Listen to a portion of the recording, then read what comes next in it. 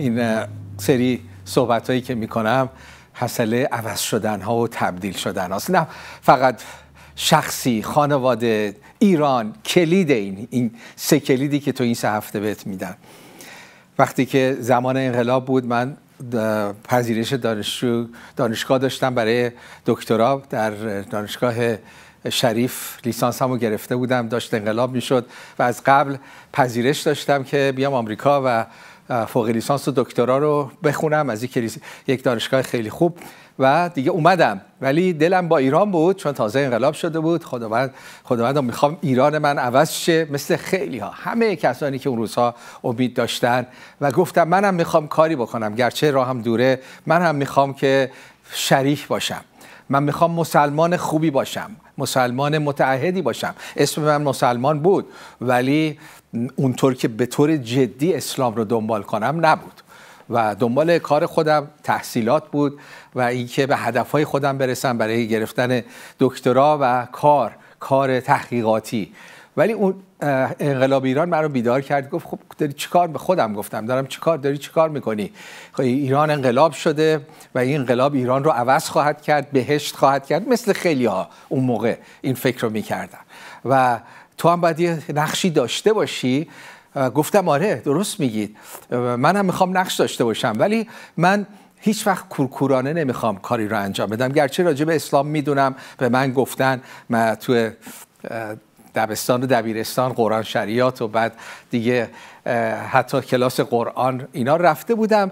راجع به الهیات اسلامی و قرآن کم و بیش می‌دونستم اتفاقا تو اون کلاس ها نمی‌دونم چرا من شاگرد اول بودم. یادمه که تو دبیرستان معلممون میامد و همیشه منو صدا می‌کرد. چون می‌دونست درس خوندم بلدم.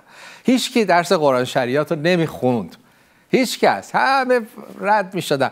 ولی من میخوندم چون می‌خواستم همه چیز رو یاد بگیرم. و همیشه منو صدا می‌کرد می‌گفت بیا. همون بعد از زوران بود. من بعد از ظهر سه شنبه چهارشنبه بود. همون موقع می‌دونستم. چونم می‌دونستم می‌رفتم میخوندم. میگم این همیشه از من می‌پرسه.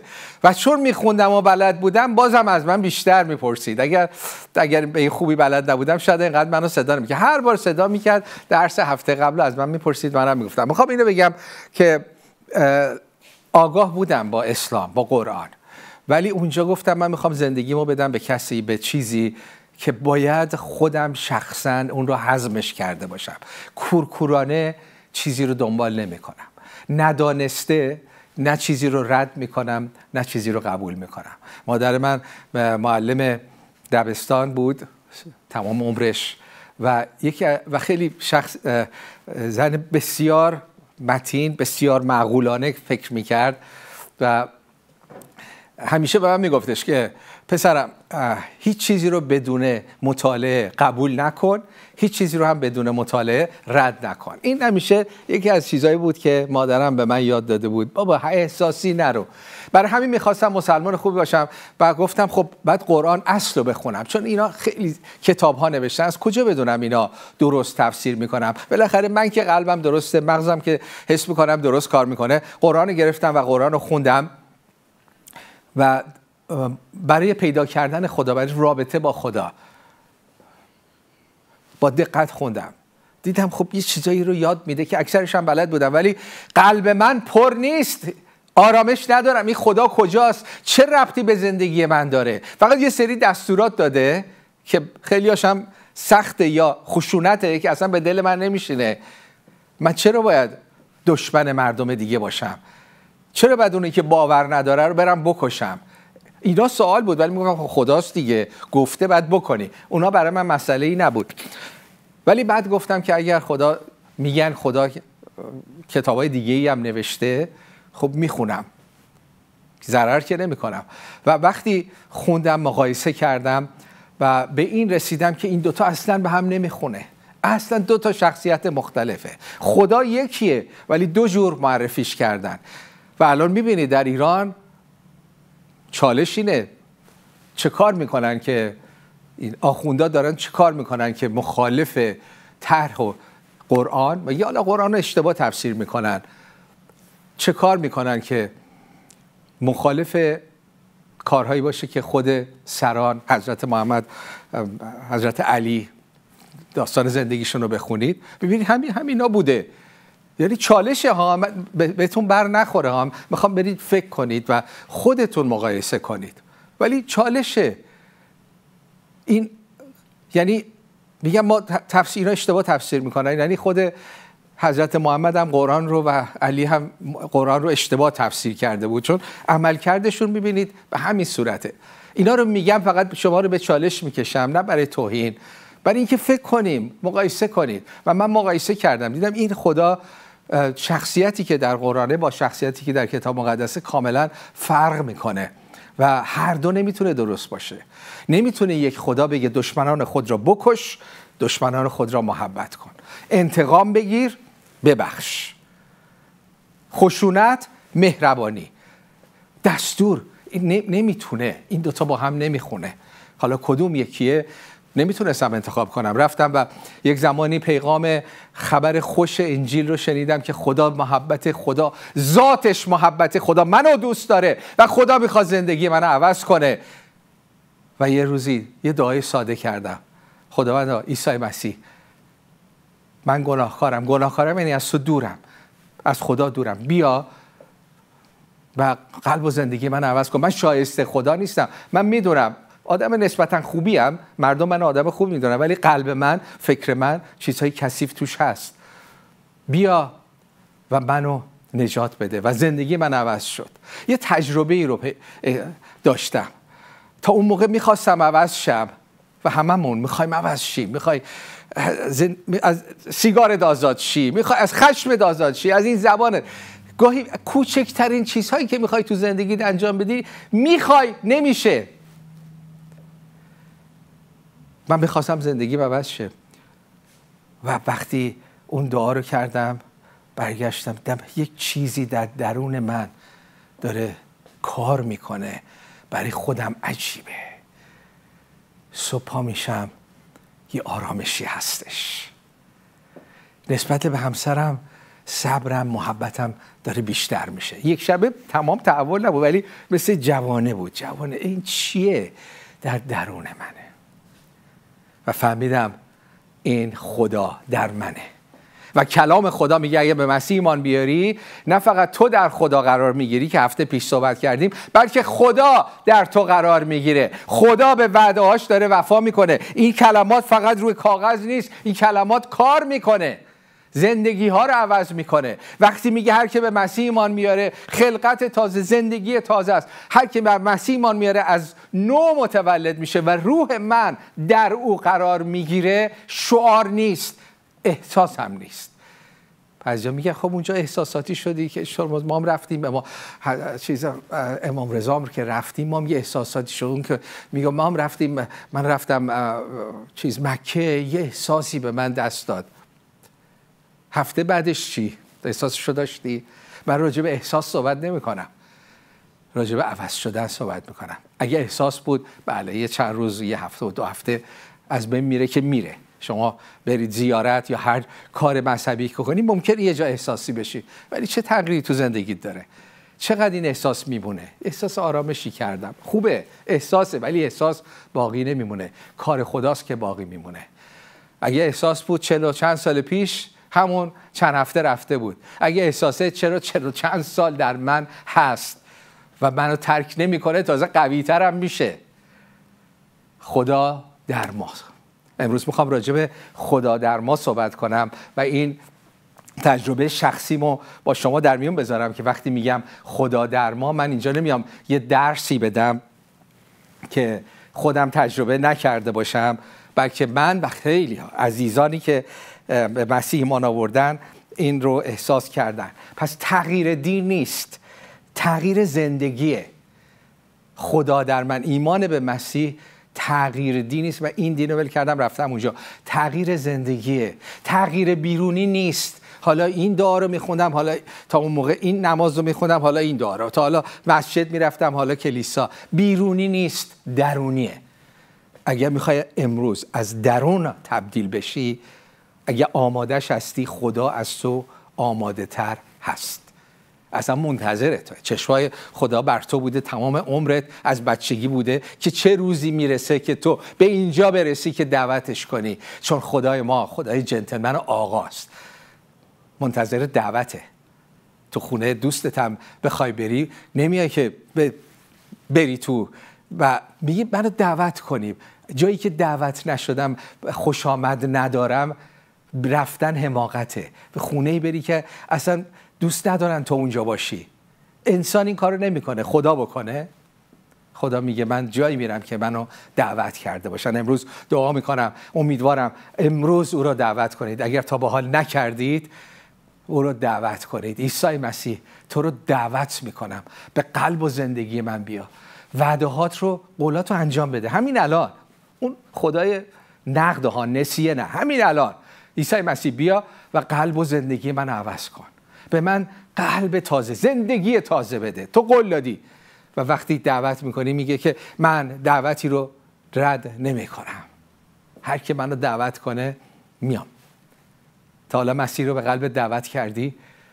اولین قدم تبدیل زندگی اینه که ما در مسیح قرار بگیریم و بعد مسیح در ما قرار می‌گیره. امروز می‌خوام راجع به همین صحبت بکنم که چطور مسیح در ما قرار می‌گیره و نتایجش چیه. سه کلید تبدیل شخصی. من سه تا پایزه دارم هفته پیش. من در خدا امروز خدا در من هفته آینده خدا به وسیله من. اینا کلید تبدیل زندگی شخصیه.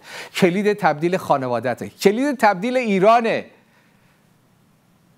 ما در شبکه هفت یک شعار کوتاه داریم. شعار که نیست هدفه. و اینه.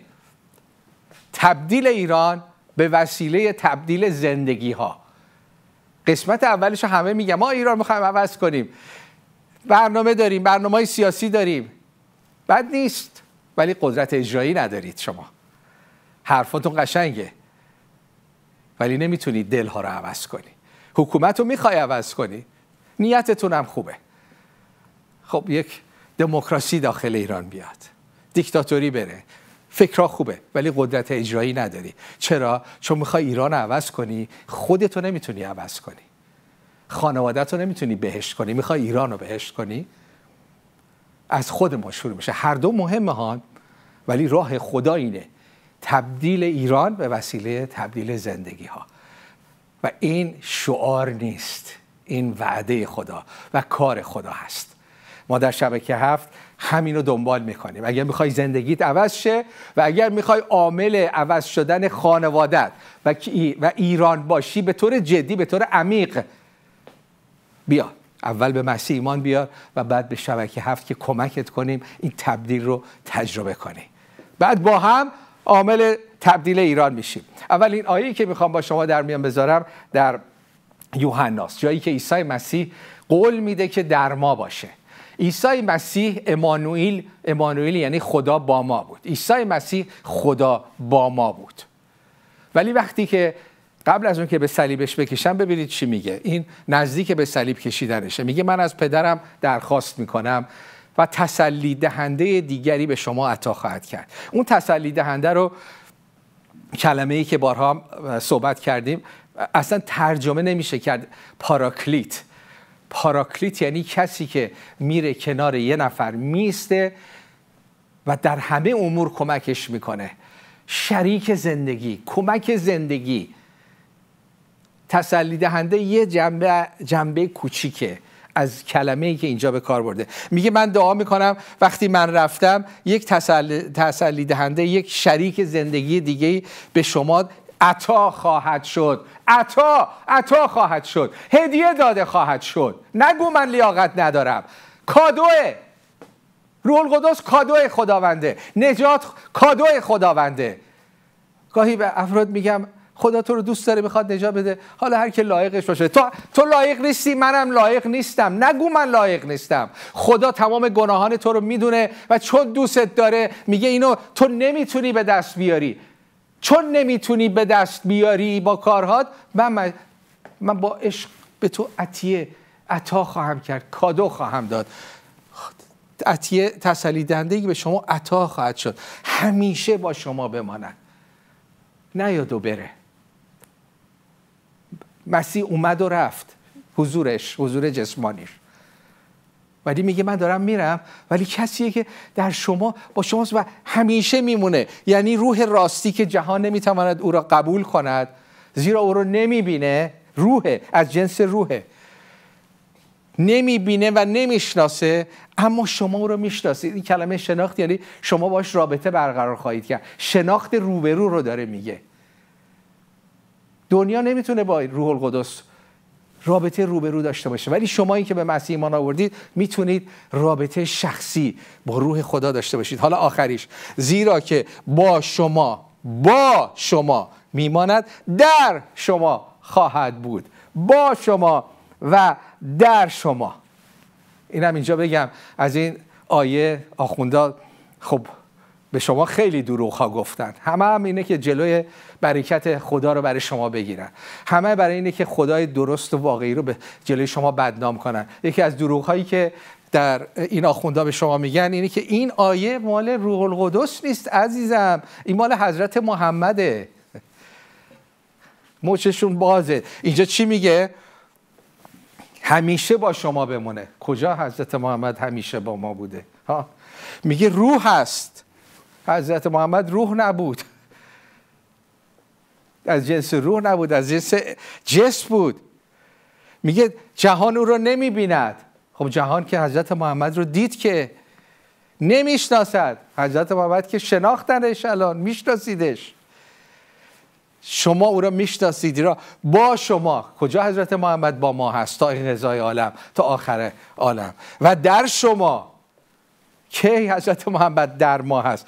این قولیه که میگه بعد بعدا هم میگه روح این روح القدسه که به ایمانداران خودش عطا می‌کنه. پس اجازه ندید به شما دروغ بگن. خودتون مطالعه کنید.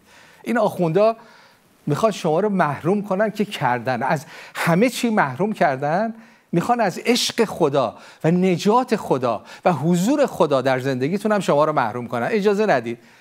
بگی خودم میرم مطالعه می‌کنم. به حرفشون گوش نکنید. گوش کنید می‌فهمید. اگه مطالعه کنید خودتون مقایسه کنید می‌فهمید کجا راست میگن کجا هم دروغ. البته نمی‌دونم راست میگن یا نه ولی می‌تونید می‌تونید قضاوت کنید خودتون. ولی این کارو بکنید. اگر دنبال خدا هستی تعصب رو کنار بگذار. بگو میشنوم. بله از آخونده هم شنیدم. میشنوم ببینم چی درسته و کجا. حقیقت رو میشه پیدا کرد. این قول مسیح و در یوحنا فصل یک میگه هر که به مسیح ایمان بیاره از نو متولد میشه و همون لحظه از روح متولد میشه و همون لحظه روح خدا رو دریافت می‌کنه. ببین همون لحظه ها مسیحیت به شرط چاقوه. مسیحیت نقده نسیه نیست حالا بیا مردی حالا اون موقع ما میری به بهشت. مال امروز توست. امروز تو چه حالی هستی؟ امروز تو با چه مشکلی هستی؟ امروز خدا می‌خواد تو زندگیت کار کنه.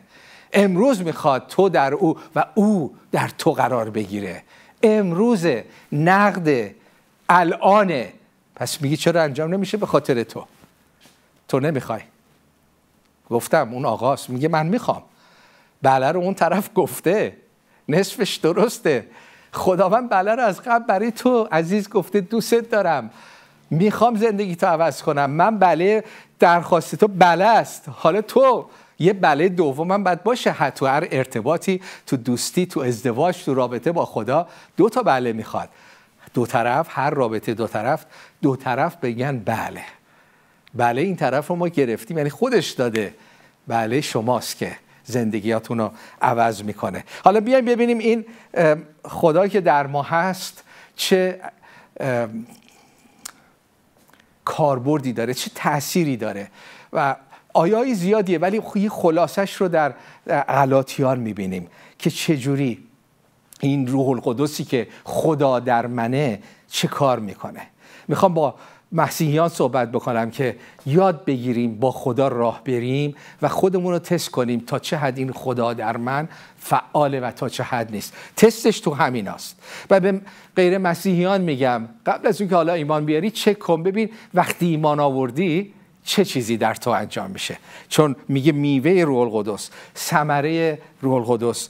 نتیجه داشتن خدا در من ببینیم چیه.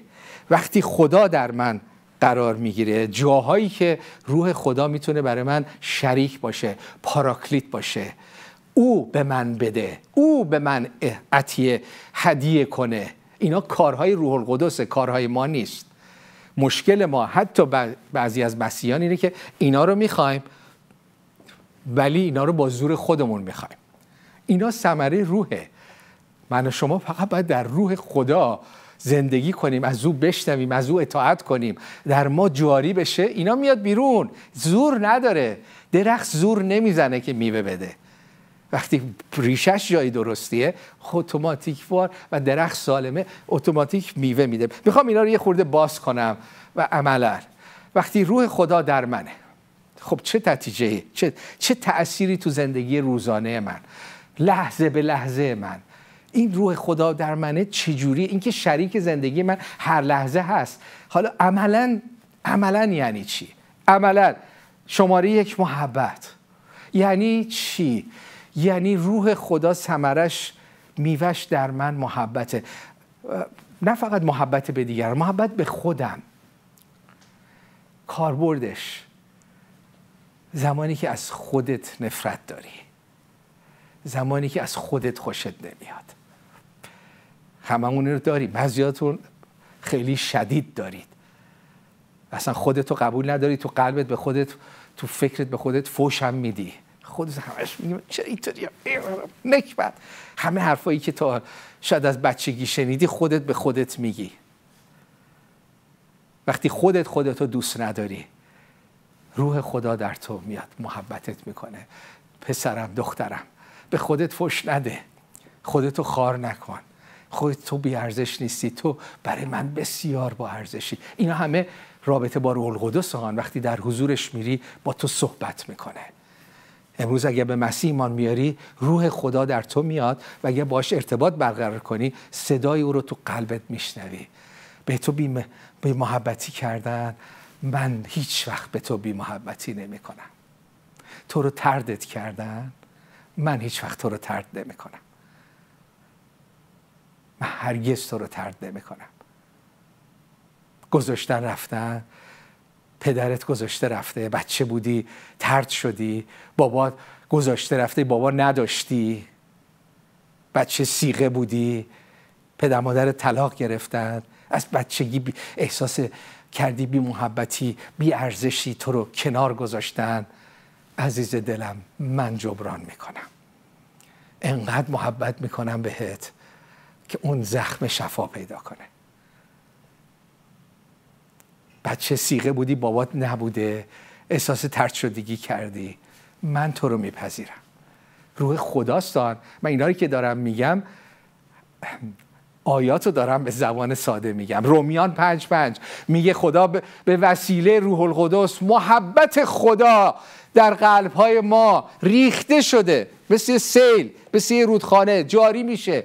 اینایی که میگم خدا می‌کنه چون قولش رو داده. وقتی با او وقت می‌ذاری بی محبتی دیدی برو پیش پدر پیش خداوندی که در توست نه آسمان. روح القدسی که در توست بذار تو رو محبت کنه. بذار با قلبت صحبت کنه. بذار قلب تو رو شفا بده. و از یا پدر نداشتید یا زود مردن یا طلاق گرفتن یا اصلا بچه سیغه بودی. بعضیا میگن پدرتون بوده و نبوده. خونه بوده ولی نبوده. از کاری برات نکرده. بعضی هم هستن انقدر پدراشون به آسیب و اذیت رسوندن میگن کاش بود ولی کاش نبود. چون نبودنش شاید برای من بهتر بود. همه اینها رو خداوند شفا میده. پدر کامله که در تو قرار داره.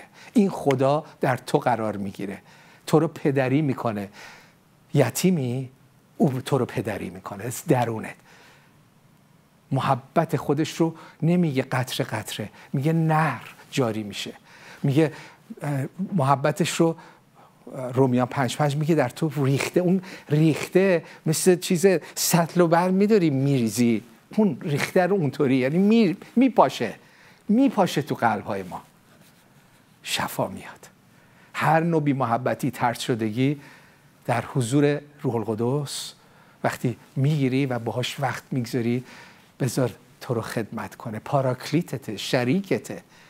حتی خیلی از ما مسیحیان اینو به روح القدس بی توجهی می‌کنیم. به شریک زندگیمون که همیشه با ما و در ما در ما همیشه با ماست بی توجهی می‌کنیم. بعد میگیم چرا زندگی مسیح من اینه؟ زندگی مسیح من تو باید پر و لبریز باشه. نه فقط محبت رو می‌گیریم بلکه در محبت هم جاری میشیم. آمین. بعد دومیش چیه؟ شادی آرامش صبر. حضور خداوند وقتی با ما هست. یادم یکی به من میگفتش که رفتم گفت که این که میگی واقعا این کلام خدا درست دارم تجربهش کردم. خیلی درسته. گفتم گفتم چه کار کردی؟ گفت همین واقعا احساس تنهایی می‌کردم. به من خیانت بارها خیانت شده بود. و گفتم هیچ دوست واقعی که ندارم. و رفتم در حضور خداوند. گفتم روح القدس خداوندا من تنهام یک دونه دوست ندارم. و تو قلبم شنیدم که خداوند به من گفت یعنی من به حساب نمیام دوست تو. یعنی منو به حساب دوستت نمی‌ذاری. گفت همین جمله ای که تو قلبم شنیدم شفا آمد. من هرگز تنها نیستم. من بهترین دوست رو دارم. پدر و مادر منو ترک کنن. خداوند من منو ترک نخواهد کرد. شفای قلب.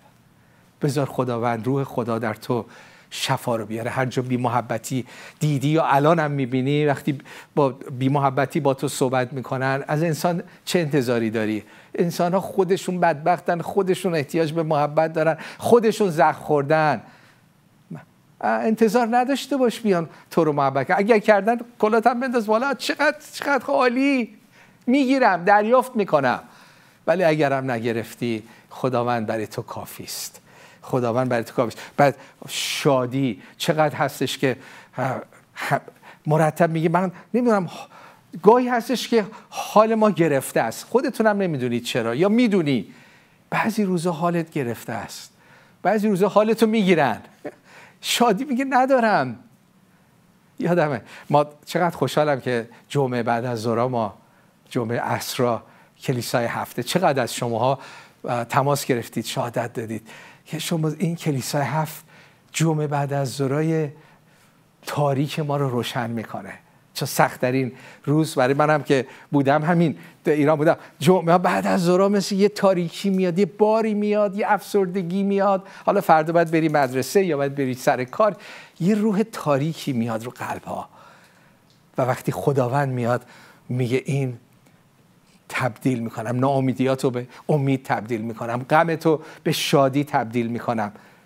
بگو خداوندا می‌خوام خداوند غم دل من غمگینه. اصلا با غم مثل که دارم زندگی می‌کنم.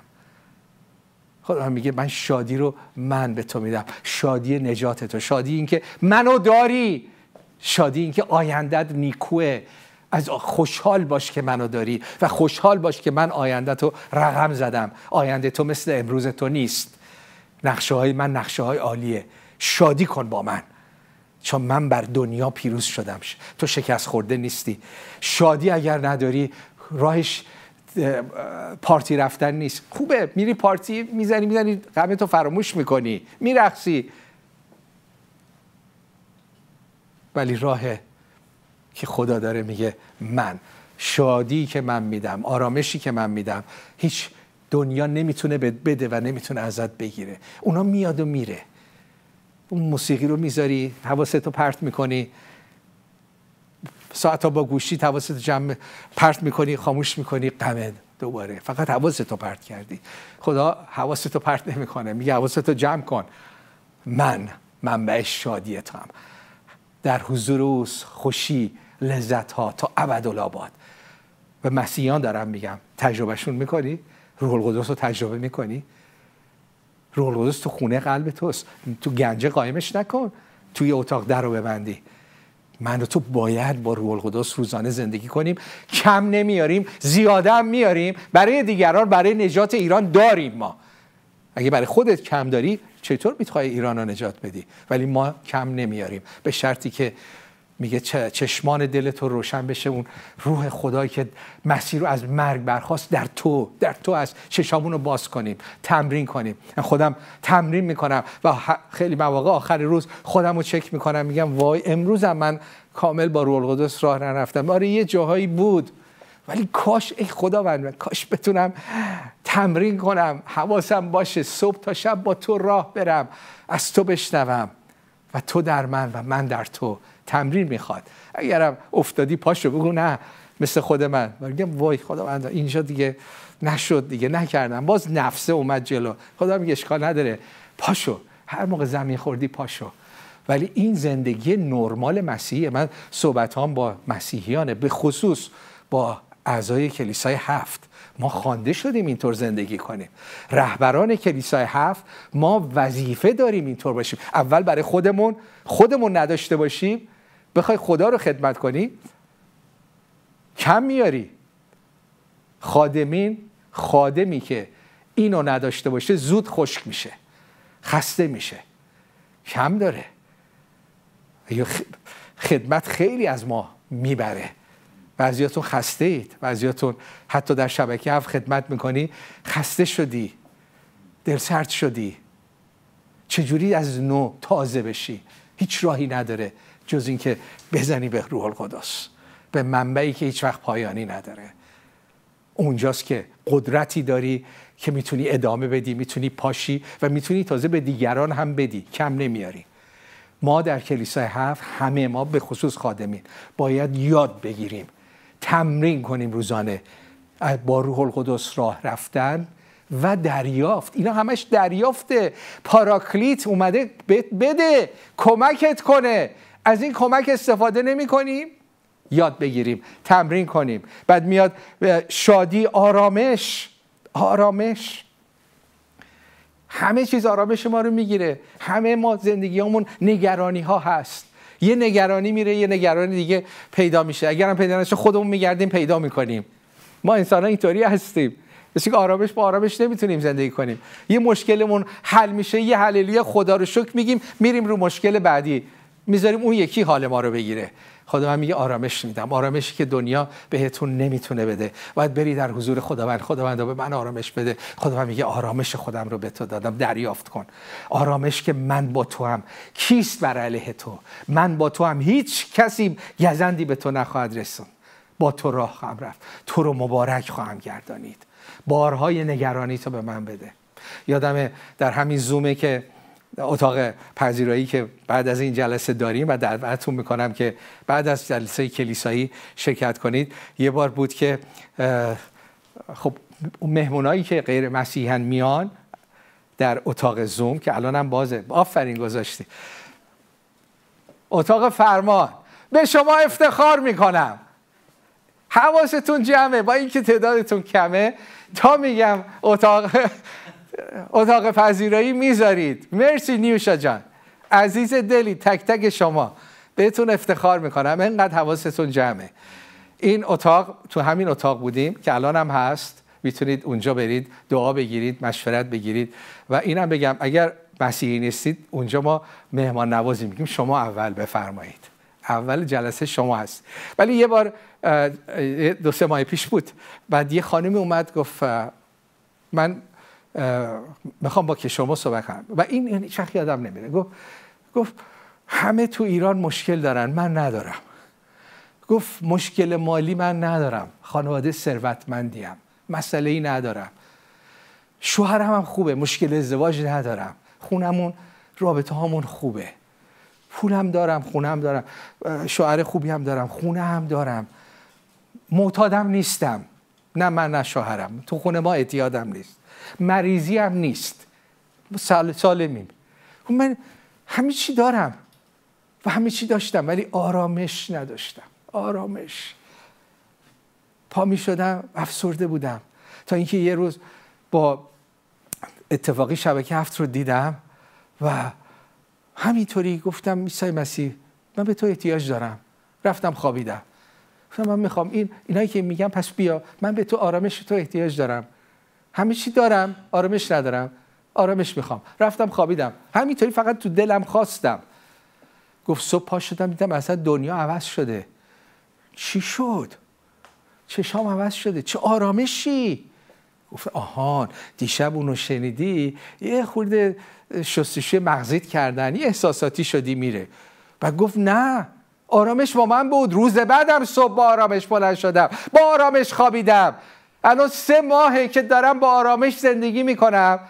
گفتم خب حالا تماس گرفتی برای چی؟ گفت آخر نمی‌دونم مسیح کیه صلیب چیه؟ برای من چی کار کرد؟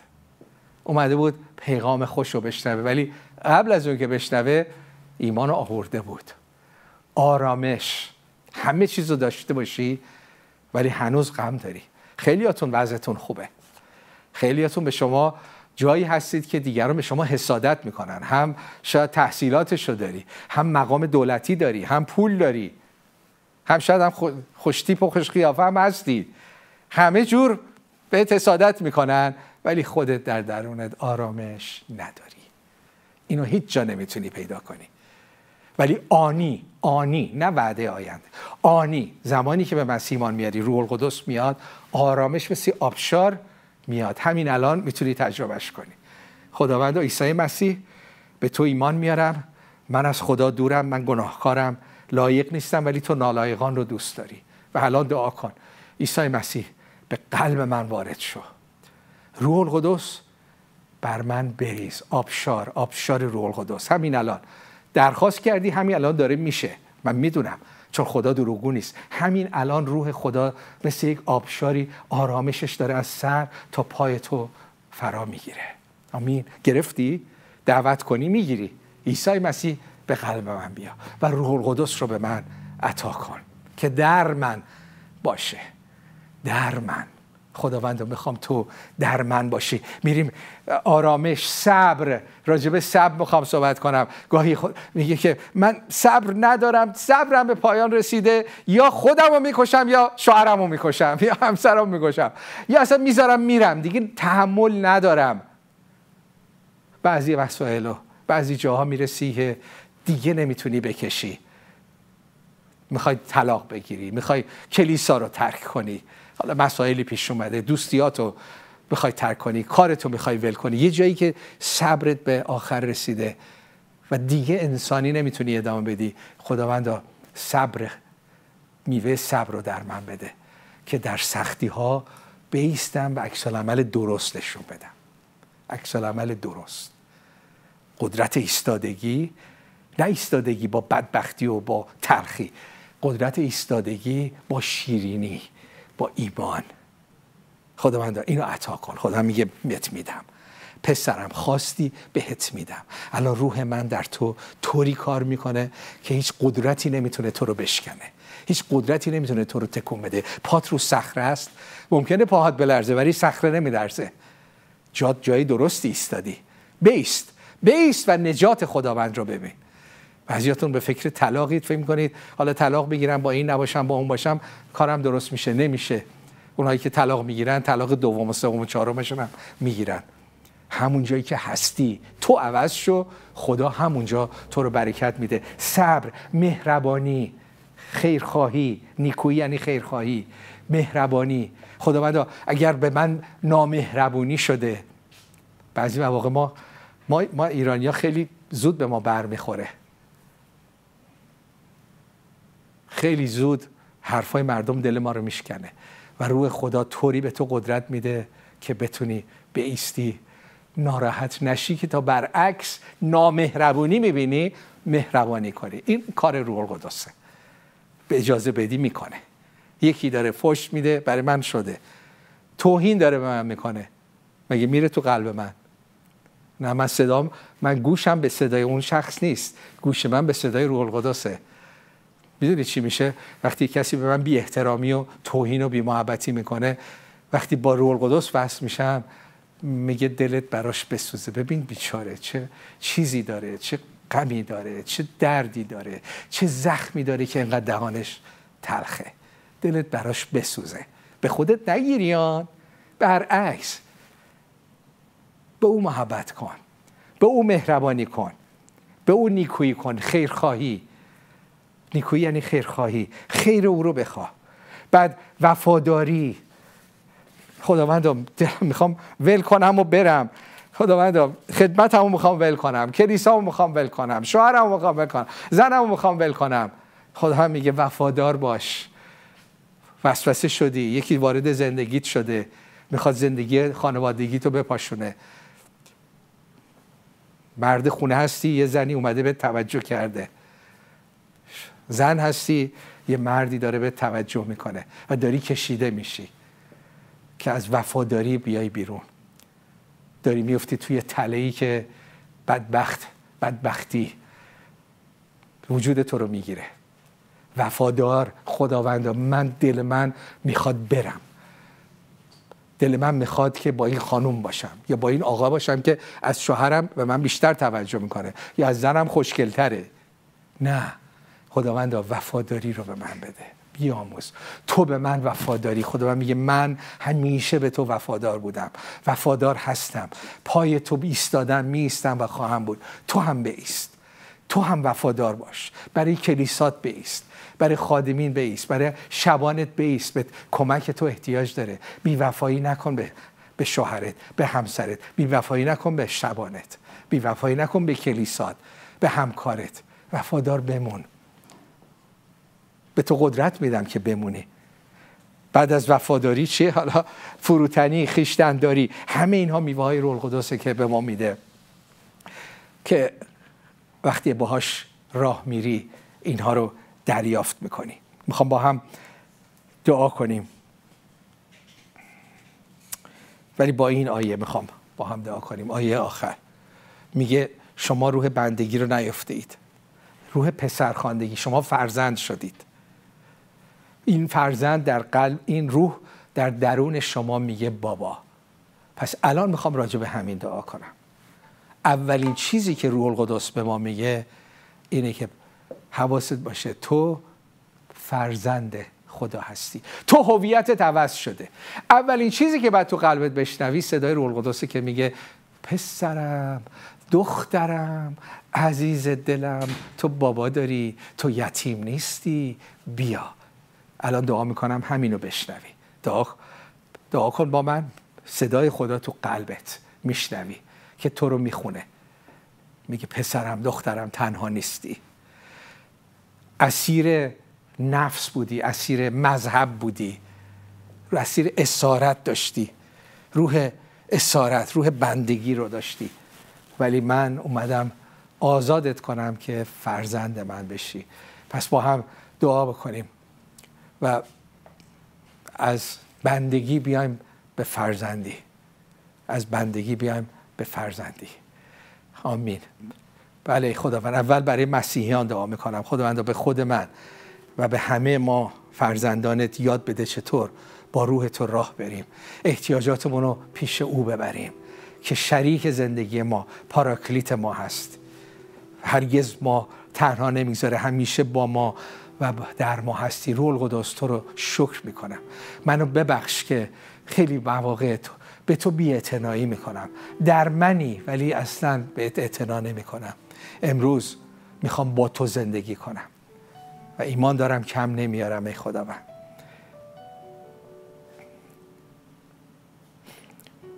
کسانی که هنوز به مسیح ایمان نیوردید ایمان کلاس دیدن و اینا اونو همه خوبه.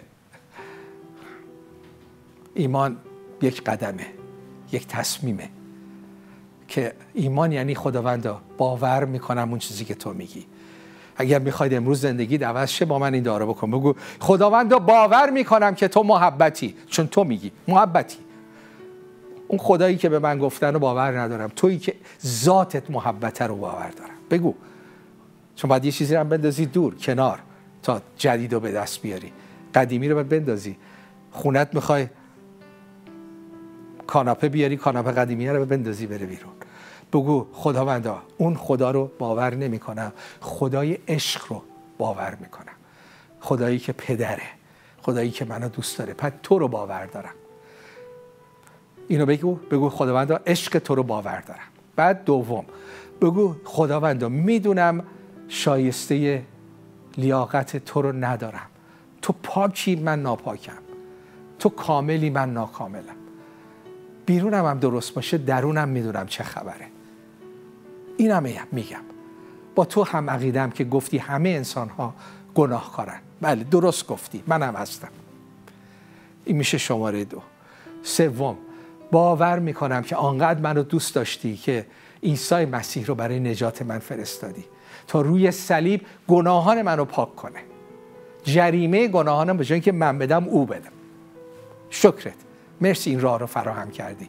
من که نمی‌تونستم جریمه رو بدم. فرستادی مسیح که ذاتا خدا بود بتونه جریمه همه دنیا رو بده.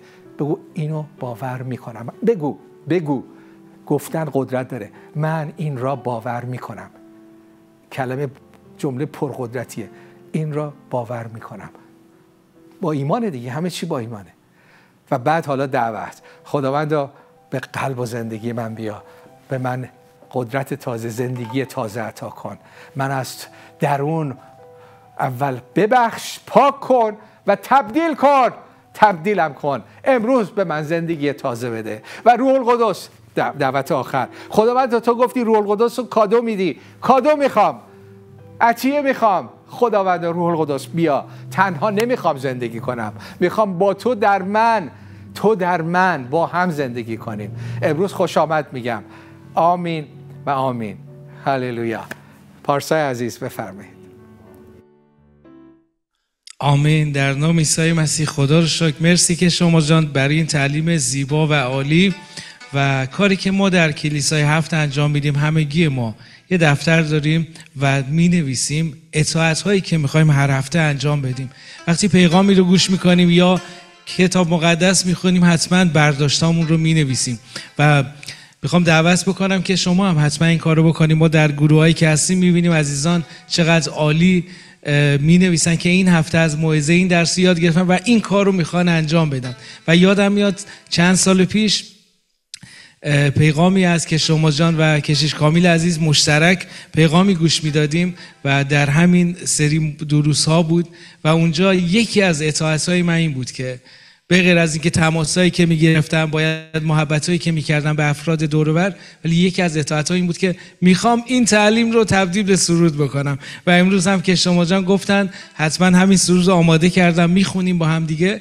اما قبل از اون می‌خوام یه جمله بگم که به دلم بود. در عهد عتیق فقط یک شخص اگه اشتباه نکنم ملکی صدیق بود فقط که هم پادشاه بود و هم کاهن.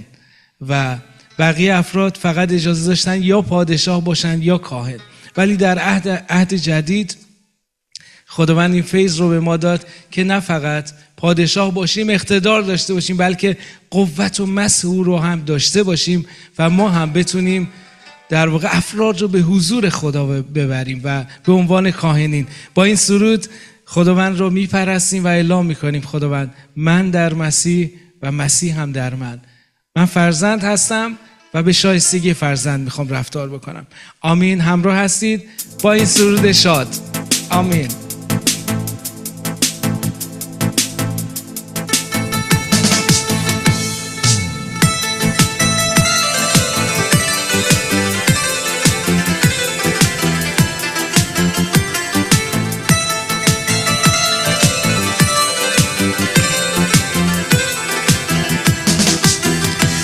آزادم من از بند گناه آزادم.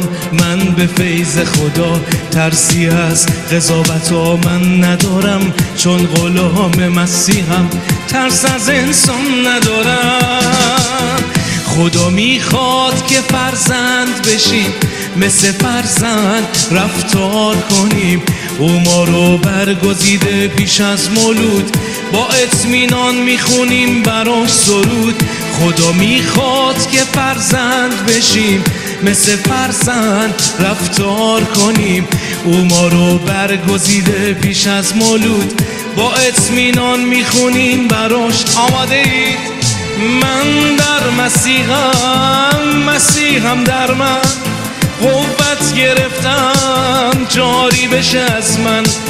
بخشش گرفتم نجات گرفتم.